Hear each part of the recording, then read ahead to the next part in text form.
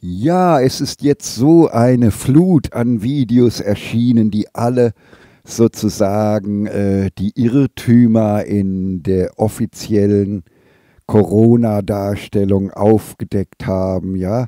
Äh, und das lohnt sich gar nicht mehr, sich damit auseinanderzusetzen. Am Ende gilt das, was wir ganz am Anfang gesagt haben, dass die zweiten Scientists for Future 2 sagen, hier, hier ist der Arzt, der sich nicht irrt, der in der Wahrheit ist, den Leuten sagt, äh, wie sie sich gesund ernähren sollen, viel Obst, viel Gemüse, Vitamine und so weiter, Vitamin D3, K2 und so weiter. Also äh, gesunden Lebensstil, ja, sozusagen, der erzeugt sich nicht selber. Dauerpatienten und Dauerkunden und so weiter, sondern er, er, er, hilft den Leuten, also sich daran zu erinnern, ihr Immunsystem gesund zu halten. Er warnt vor den modernen Lebensmittelhändlern und macht klar, dass das eben keine immunstärkende Nahrung ist, sondern nur das Naturbelassene die immunstärkende Nahrung ist. Ja, das ist der wahrheitsorientierte Arzt.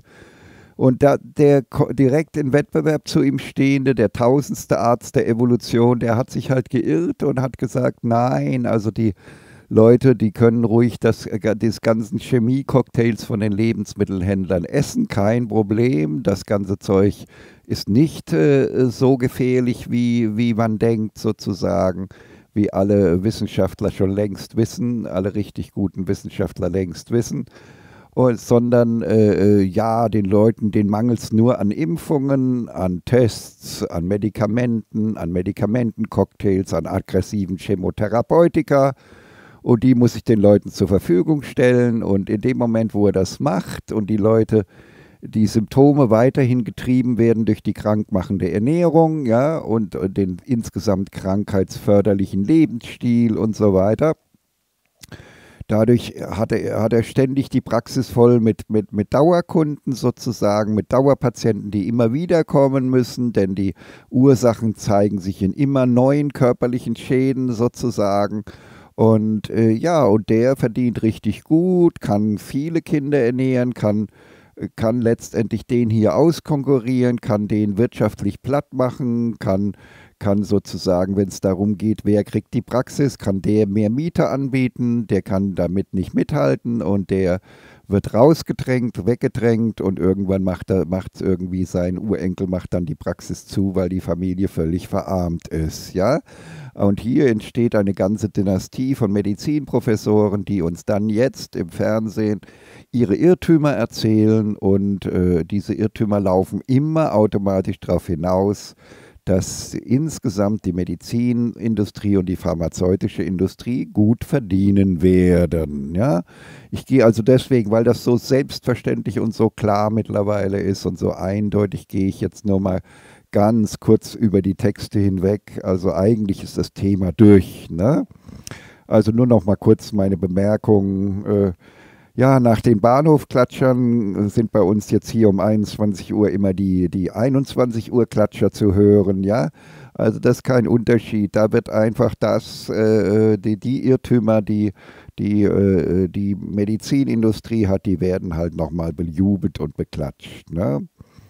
Ja, und dann von Russland seien die Daten so, dass äh, dort weniger Lungenentzündungen seien als sonst. Also auch wieder ein Hinweis, wenn man nicht viel tut und keine Panik macht, dann passiert auch nicht viel. Ne? Ja. Äh, ja, man hat halt äh, sozusagen äh, früher den, den, den Fehler gemacht, die Politik hat man bei der Schweinegruppe nicht zu Maßnahmen gebracht. Dadurch erkannte die Bevölkerung die Harmlosigkeit und man konnte nichts mehr verkaufen. Aber das hatten wir ja auch schon wieder zum x-ten Mal. Also Sie merken, es wiederholt sich alles nur noch. Also wie gesagt, zig Videos, die alle das Gleiche wiederholen. Der Wahnsinn. Man will verdienen, indem man all die leeren Betten jetzt an die Italiener vergibt. Ja, jetzt werden Italiener eingeflogen. De, angeblich sind wir doch vor, kurz vorm Anschlag. Und wenn wir kurz vorm Anschlag sind, äh, warum ist dann nicht alles voll? Ja, also, äh, aber man, nein, man vergibt die leeren Betten an Italiener, damit man wenigstens überhaupt was abrechnen kann. Ja. Und man will eben insgesamt nicht locker lassen, bis äh, nicht die Zwangsimpfung genügend Geld gebracht hat. Oder eben, man muss ja die Leute, wenn es keine Zwangsimpfung wird, dann muss man die Leute wenigstens so lange in, in Angst halten, dass sie von selbst aus freiwillig sich impfen und äh, entsprechend äh, äh dann richtig äh, schön dafür bezahlt wird. Ne? Denn am Ende ist so, niemand tut da irgendetwas, für das er nicht fürstlich bezahlt wird. Ne? Ja, Harald Lesch, na, das hat sich auch, da ganz viele Videos zu Harald Lesch. Äh, ich dachte, wir wären da die äh, Ersten. Nein, da gab es auch, gibt es schon danach jetzt jedenfalls andere, die also auch erkannten, ja, das ist halt, Pharma, der, der Harald Lesch ist halt der Pharmareferent in Rheinperson. Wie wäre es mit einem Aufsichtsrat nach der Krise, wie wäre es da mit einem Aufsichtsrat äh, Posten für Herrn Lesch in der Pharmaindustrie? Das würde doch passen, ne? Für jemanden, der so gläubig alles äh, unnaturwissenschaftlich, unhinterfragt glaubt und übernimmt. Also bei Harald Lesch auch in seinen Videos kommt immer nur das Gleiche. Ja, diese Leute, die wissen doch, von was sie reden, denen müssen wir doch nur glauben. Ja, also ein echter Naturwissenschaftler glaubt nicht, sondern der hinterfragt. Ja. Ja, und in Schweden, da gab es einen Bericht über Schweden, ich glaube Weltspiegel oder so ähnlich. Und da wurde, da hat sich wieder das äh, öffentlich-rechtliche Fernsehen so ein bisschen verraten. Da sollten sie den Journalisten mal auf die Finger hauen. Denn die haben verraten, aha, in Schweden hat man nur zu den Älteren gesagt, sie sollten die Kontakte meiden, denn sie sind die Gefährdeten. Ja, also das heißt, man hat die äh, Älteren angeregt dazu, soziale Kontakte zu meiden. Und, und dann hat man noch gesagt, hier, hier, wer krank ist, soll doch bitte zu Hause bleiben. Ja, wer irgendwas hat, irgendwas Schnupfenmäßiges, Erkältungsmäßiges, der soll doch dann einfach zu Hause bleiben. Ja. Und alles andere läuft in Schweden weiter. Die sitzen in, Ka in Cafés 10 cm an 10 cm, all die Leute und so weiter. Jetzt müsste es doch da Leichenberge geben. Angeblich ist doch Corona. Unsere Greta Thunbergs ist, äh, denkt doch, sie sei infiziert von Corona. Und, und in Schweden gibt es doch angeblich nachweislich äh, äh, mit diesen äh, sozusagen völlig unzuverlässigen Tests, äh, wird doch behauptet, es gebe massig äh, auch äh, Corona in Schweden, aber jetzt müsste es doch dann Leichenberge geben, weil bei den Übertragungsmöglichkeiten, die in Schweden das Virus hat, müssten doch jetzt alle tot umfallen. Ne? Äh, aber die Sterbezahlen sind immer noch extrem gering. Ne? Äh, ungewöhnlich gering. Ein Bericht, äh, ein anderer Bericht zeigt leere Krankenhäuser und dann äh, schildert der Journalist, äh, das Personal sei entsetzt über die Falschberichterstattung der öffentlich-rechtlichen Medien. Sie sind gar nicht so am Anschlag. Ich weiß nicht, wie diese Bilder so konstruiert werden oder wo diese Bilder herkommen. Also auf jeden Fall das, was ich da gesehen habe, sind anstatt dass da überall sich auf den Flüren und Gängen und in den Hallen die, die, die Massen an Patienten stapeln, ja, ist da null los, gar nichts, alles leer, ja.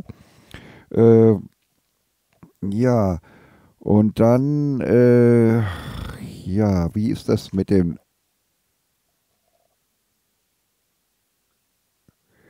ja, mit den Ski, da war was, also mit den Skigebieten, ja, äh, wo sind da die Toten? Ja, also jetzt äh, in den Skigebieten sagen sogar die Schweden, dass sich da jetzt ja viele anstecken. Aber wo sind denn da bitte schön die Toten? Mich interessiert doch nicht angeblich Infizierte. Und wenn dann einer tot ist, interessiert mich immer noch, ob die Ärzte ihn umgebracht haben durch aggressive Medikation, durch falsches Vorgehen und so weiter. Ja, denn wer untersucht jetzt naturwissenschaftlich, ob nicht äh, die Ärzte dann eben, ich habe es ja eben die Beweisführung gemacht, dass alles äh, sozusagen sich um, um, um, um gefährliche Irrtümer handelt. Und wenn ich auf, auf eine gesamte Medizin auf der Basis von gewinnbringenden Irrtümern habe, dann ist doch klar, dass dabei natürlich auch viele dann, die ins Krankenhaus kommen, dann auch getötet werden können. Gar nicht zu reden von den tödlichen Krankenhauszusatzkeimen und so weiter. Also äh, das heißt also, wir haben äh, äh, hier lauter äh, Hinweise,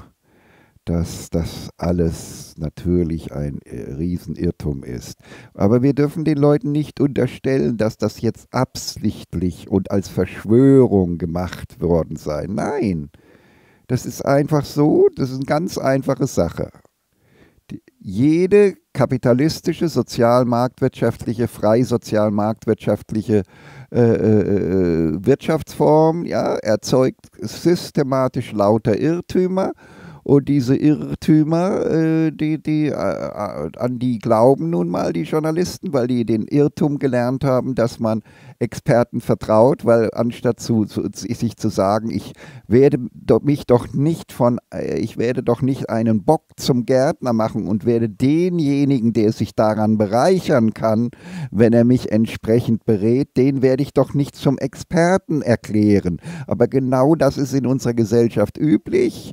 Auch Harald Lesch erklärt ja einfach nur die Leute zu Experten, die richtig Geld damit verdienen, wenn sie uns bestimmte Sachen unsere bestimmte Irrtümer rüberbringen. Ja? Und das ist, das ist eben ganz normal im, in der sozialen Marktwirtschaft. Deswegen muss sie ja auch beendet werden. Ja, ja. Äh,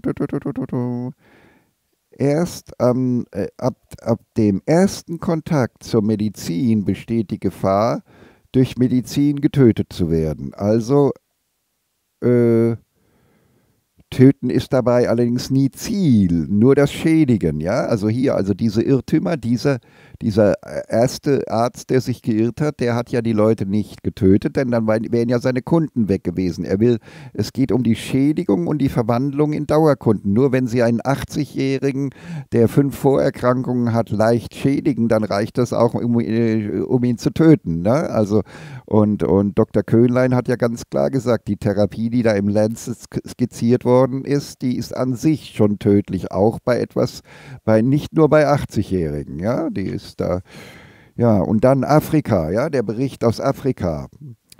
Bevor die Leute in Afrika verhungern, werden sie weiter arbeiten gehen, ja, und, äh, und das heißt, Afrika wird uns jetzt zeigen, jetzt müssten die ja alle in Afrika sterben wie die Fliegen, denn überall haben sie auch Corona, ja, denn überall, die Welt ist ja überall durchlässig geworden, ja, äh, die haben in jedem Staat in Afrika auch Corona.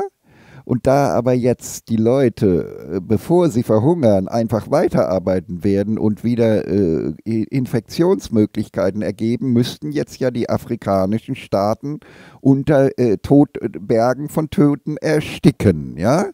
Ganz unabhängig davon, ob, ob sie viele dann in den Krankenhäusern noch den Rest bekommen, aber viele hätten ja dann auch gar nicht das Geld, um die Krankenhäuser zu bezahlen.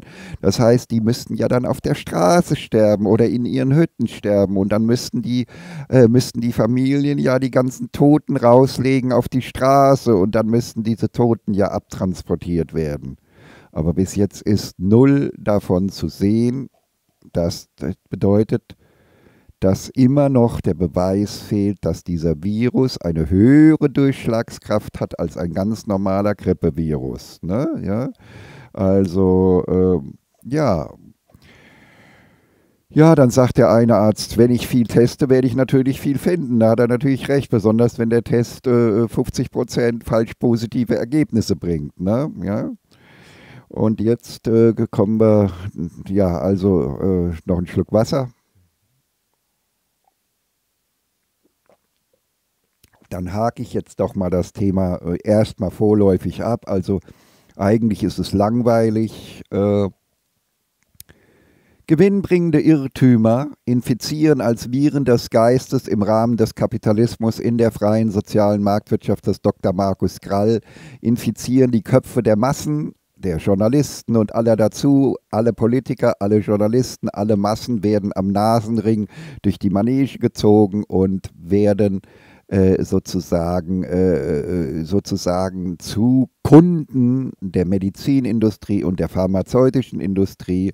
Und man will ja jetzt unbedingt das Ganze so lange aufrechterhalten, bis man die Impfungen abgerechnet hat. Denn sonst wäre das ja das große Geschäft ja wieder, wie bei der Schweinegrippe der Medizinindustrie, entgangen. Ne? Und das darf nicht sein.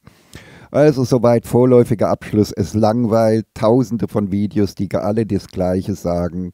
Das ist ein Irrtumsgebäude. Ne? Manche mit Verschwörungstheorien, manche ohne und so weiter. Äh, sachlich, naturwissenschaftlich sind es einfach Irrtümer und Menschen, die an Irrtümer glauben. Und das Ganze ist schädlich für alle und besonders auch äh, liebe Milliardärskönige, ja ihr, die ihr eben nicht äh, Großaktionäre von Pharma- und Medizinindustrie seid, ihr werdet, äh, werdet jetzt gerade geschädigt. Lasst euch das nicht gefallen. Tut euch mit den zweiten Scientists for Future 2 zusammen und beendet dieses teuflische System, in dem sich, in dem jeder Milliardärskönig de, äh, alle anderen Milliardärskönige immer wieder schwerst schädigt. Und jetzt haben wir nur, jetzt könnt ihr es wahrscheinlich an euren Zahlen ablesen, wie ihr gerade geschädigt werdet. Obwohl angeblich BlackRock das ganz geschickt macht mit Leerverkäufen, angeblich haben sie äh, sozusagen darauf gewettet, dass die Kurse fallen und äh, dadurch hat man, können sie dann auch noch an den fallenden Kursen verdienen. Ja, eben die cleveren äh, verdienen halt äh, auch an allem. Aber jetzt kommen wir dann eben zu dem Plan B. Der, die haben jetzt den Fehler gemacht, äh, quasi kostenlos ihre, ihr Hörbuch ins Internet zu stellen. Jetzt Andreas Popp und Rico Albrecht von der äh, Wissensmanufaktur haben ihren Plan B eingestellt und dann wird natürlich schon nach wenigen Sätzen wurde mir deutlich, wo die Denkfehler sind. Wie bei Christian Felber mit seiner Gemeinwohlökonomie ist der Plan B nur eine etwas man könnte sagen, während äh, dieses vielen äh, Linksaußenträumereien wie die Gemeinwohlökonomie, so mit ihren Traumanteilen, während das also sozusagen eigentlich äh, äh, sozusagen äh, so eher den, den, den ganz, äh, sozusagen den ganz Armen in der Gesellschaft dienen, also sozusagen das frühere marxische Proletariat bedienen, sozusagen mit ihrer, mit ihrer Propaganda und mit ihrem, äh, ihrem Neidgeschehen und mit ihren diebischen Elementen, Diebstahlselementen und so weiter ist bei Andreas Popp und Rico Albrecht äh, das Ganze, denn die werden ja auch eher so als eher leicht rechts eher eingestuft. Da ist es eher so, dass es der Aufstand des Mittelstandes ist und der Versuch, den Mittelstand dazu zu bringen, eine diebische Grundhaltung gegenüber den Fähigen der Gesellschaft, den Milliardärskönigen aufzurichten. Ja, also äh, das heißt, es ist einfach nur eine andere Variante der diebischen Sozialismusformen. Ja? Und zwar äh, beklagen, beklagt Andreas Popp äh, und Rico Albrecht, sie beklagen also die ständige Umverteilung von fleißig nach reich damit in Wirklichkeit äh, die fleißig, äh, was ja ein sehr positiv besetztes Wort ist, ja, in Wirklichkeit ist, ist es so, dass die sogenannten fleißig, die wenig fähigen der Gesellschaft, die deswegen auch etwas mehr arbeiten müssen als viele andere, und die Reichen sind halt die Hochkompetenten, bei denen alle alles kaufen wollen und alles mieten wollen bei denen. Ja, äh, und, und die natürlich möchten jetzt einfach die Fleißigen, äh, also die heißt die wenig Fähigen, die wenig Fähigen sich an dem Reichtum der Hochkompetenten bedienen und von denen was wegnehmen. Wel nur Verrückte, also welcher vernünftige Milliardärskönig äh, wird also sagen hier, welcher Milliardärskönig wird sagen, ah, toll, dieser, dieser Plan B von Rico Albrecht und Andreas Popp, da werde ich als Reicher beschimpft, aus, als leistungslos Einkommen beziehender beschimpft, meine ganze Lebensleistung und die meiner Familie, meines Vaters und Großvaters wird völlig missachtet und es wird so getan. Also denn dann, wenn wir die Ernte einfahren wollen, nachdem wir lange gesät haben, über Generationen gesät haben und jetzt wird die Ernte eingefahren, dann wird gesagt, das handelt sich um ein schmutziges, leistungsloses Einkommen. Das ist, klingt genauso, genauso wie bei Karl Marx. Ja, das sind ja die bösen, bösen, bösen, üblen Mehrwertabschöpfer, ja, und so weiter, die von den Fleißigen alles wegnehmen und so weiter ja.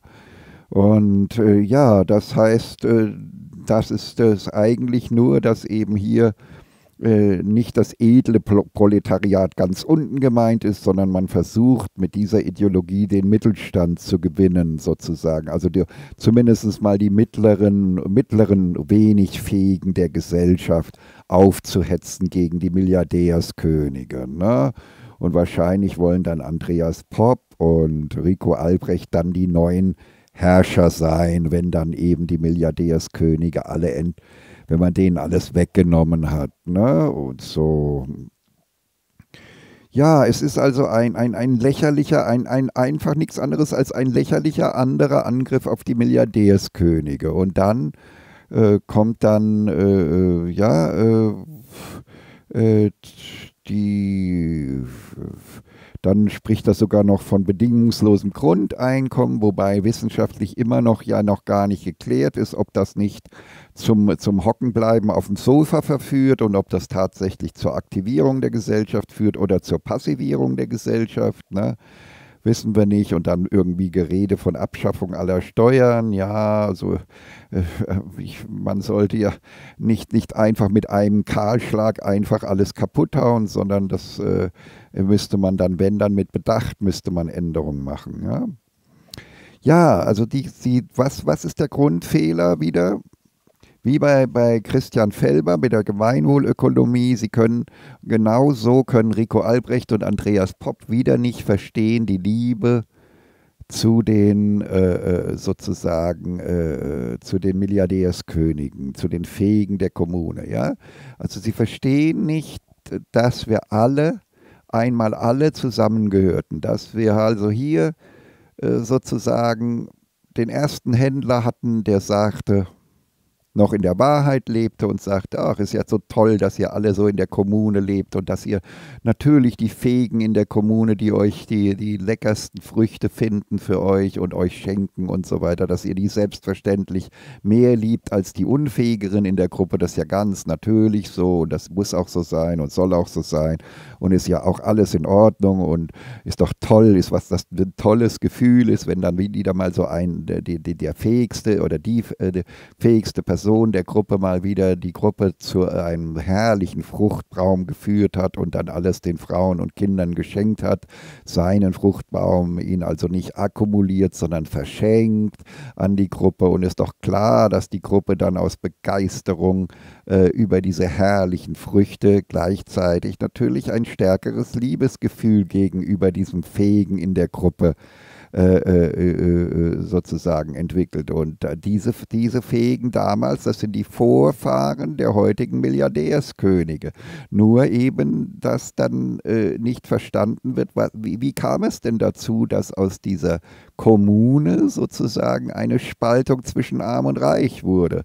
Na, das ist ganz einfach, äh, habe ich schon tausendmal erklärt. Hier, dieser Händler sagt, ja, also toll ist das alles mit eurem Geschmuse und mit eurem Liebhaben und so weiter und eurer äh, Achtung und eurem Respekt vor den Fähigen eurer Gruppe und so weiter. Denn die, wenn die weg wären, dann würdet ihr wahrscheinlich Hunger, Hunger nagen, weil äh, dann würdet ihr nur noch selten schöne Fruchtbäume finden, sozusagen, wenn eure Fähigsten weg wären. Also deswegen äh, bedankt euch herzlich bei denen, ja. Und äh, dieser Händler hier da, der sagt, ach, ist das alles eklig und widerwärtig, dieses ständige Geschmuse und dieses Abschlecken der, der, der, der Fähigen und, und äh, dieses ewige Stillen der Babys, ah, widerlich, ekelhaft, Körperkontakt, pfui und so weiter, ja. Und die Kunden, die das hören, die werden eingeschüchtert und, und schmusen etwas weniger. Dadurch verlieben sich, äh, äh, also äh, sozusagen fühlen sich in diesen Kommunen die, die Vorfahren der Milliardärskönige, die fähigsten der Gruppe, nicht mehr geliebt, äh, äh, haben nicht mehr so viel Sex wie vorher und so weiter und sehen keinen Grund mehr, warum sie in der Kommune bleiben sollten, machen ihr Ding, tun sich zu Männerbünden zusammen und betreiben eigene Handelsgeschäfte und fangen jetzt an, anstatt die die Bäume an die Frauen und Kinder äh, zu schenken, fangen sie an, die Güter zu akkumulieren und werden jetzt halt zu Milliardärskönigen. Ja? Und äh, jetzt gibt es nur einen Weg zurück. Wir müssen den Milliardärskönigen klar machen, wir dürfen sie nicht beschimpfen als leistungslose Einkommensbezieher sondern wir müssen die Milliardärskönige sozusagen, denen müssen wir ganz klar sagen, hier, wir wollen euch wieder Lebensqualität, Gesundheit und Langlebigkeit, viel mehr Gesundheit, viel mehr Lebensglück und viel mehr Langlebigkeit schenken sozusagen und, äh, äh und lasst uns deswegen gemeinsam mit den zweiten Scientists for Future 2 dieses teuflische kapitalistische System, die freie soziale Marktwirtschaft, das Dr. Markus Krall endlich beenden, damit auch ihr wieder richtig glücklich werden könnt. Also äh, sozusagen, das ist unsere einzige Chance, zu einem Wandel zu kommen.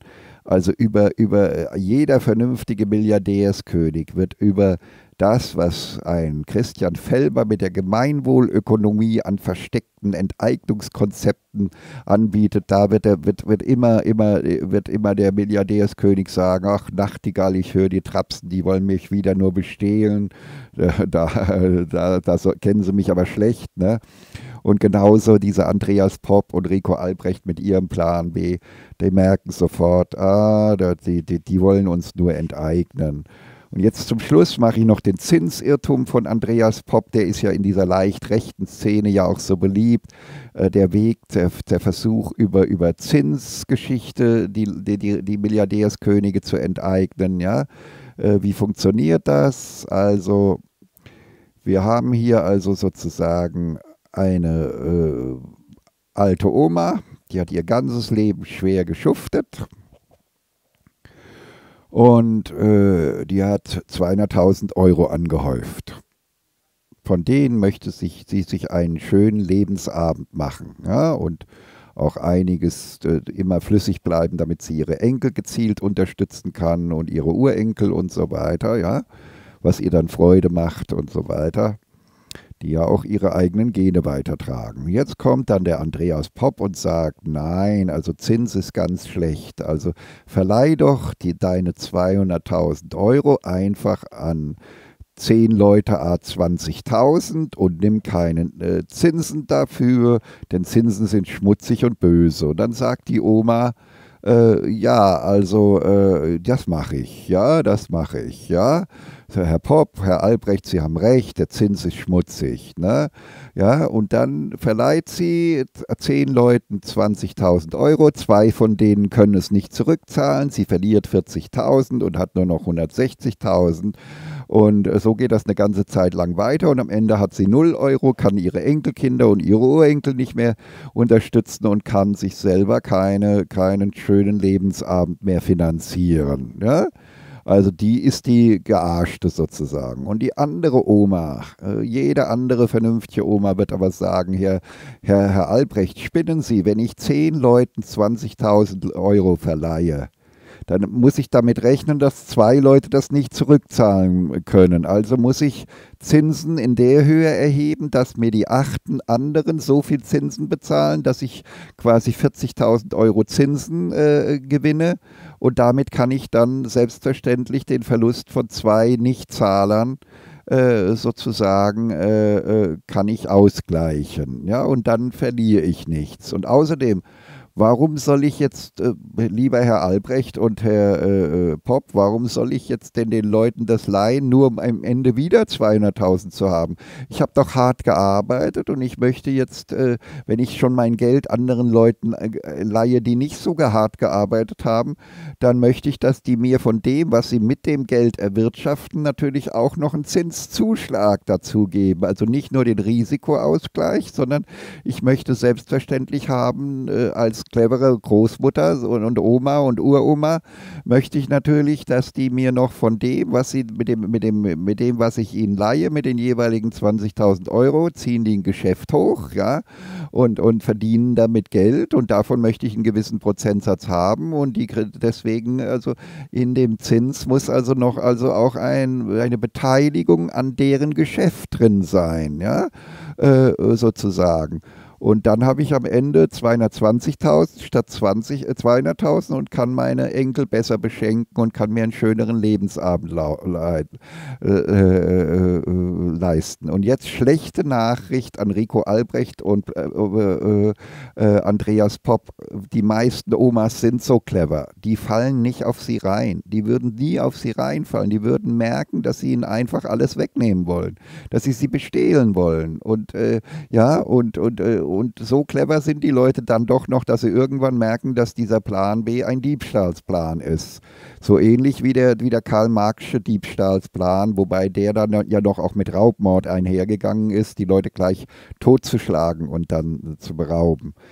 Ja, also ich fasse zusammen, Corona ist abgeschlossen und jetzt können wir auch Plan B und Andreas Popp und äh, Rico Albrecht eigentlich äh, zu den Akten legen alles äh, völliger Quatsch, äh, völlige Irrtumsgebäude.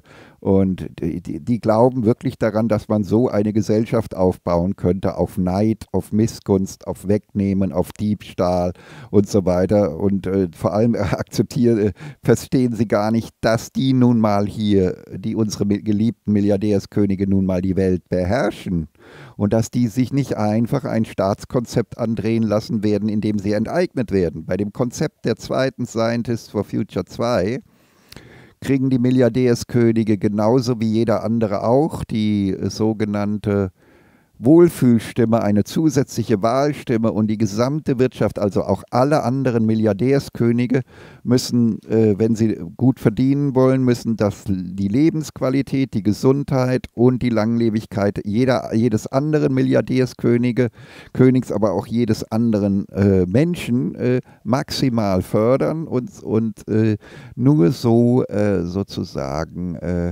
äh, kann man einen Staat aufbauen, in dem man den, den Milliardärskönigen ganz klar erklärt, wo die Vorteile sind der neuen Wohlfühlstimme und äh, wo, äh, wo der, die persönlichen Vorteile für sie selber sind und dass eben niemand ihnen an ihr Geld will und an ihren Besitz und an ihr Eigentum will, sondern dass, wenn sie später Lust haben, wo wieder und dann irgendwie von sich aus Lust haben, in so einer Urkommune, urkommunistisch, ursozialistisch zu leben, sozusagen, dass sie dann gerne gerne äh, wieder anfangen können, wie damals das alle Menschen gemacht haben, alles den Frauen und Kindern ihrer geliebten Kommune zu schenken.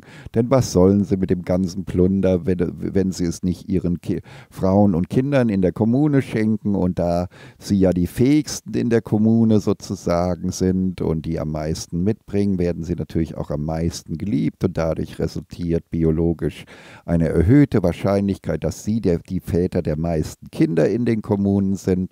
Und dann, äh, ja, dann, dann werden sie alle äh, äh, glücklich und zufrieden sein und dann geht die Schere zwischen Arm und Reich von selber zusammen. Aber weil dann die Milliardärskönige das verschenken wollen an ihre geliebten Frauen und Kinder ihrer Kommune sozusagen, aber nicht, weil sie, man ihnen sie bestehlen will durch einen raffinierten Trick, den man dann Plan B nennt, ne?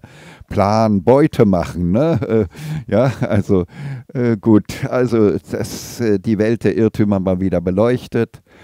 Ja, und äh, Corona, wie gesagt, äh, ist ja eigentlich durch. Äh, das sollte jetzt dem Letzten klar sein, dass es sich um Irrtumsgebäude handelt und dass sich halt gerade mal wieder die Pharmaindustrie und Medizinindustrie auf Kosten des Restes der Welt einen kräftigen Schluck aus der Pulle genehmigt, also auch auf Kosten aller anderen Milliardärskönige, die nicht Großaktionäre der Pharmaindustrie und Medizinindustrie sind. Ja, tschüssi Sophie für jetzt.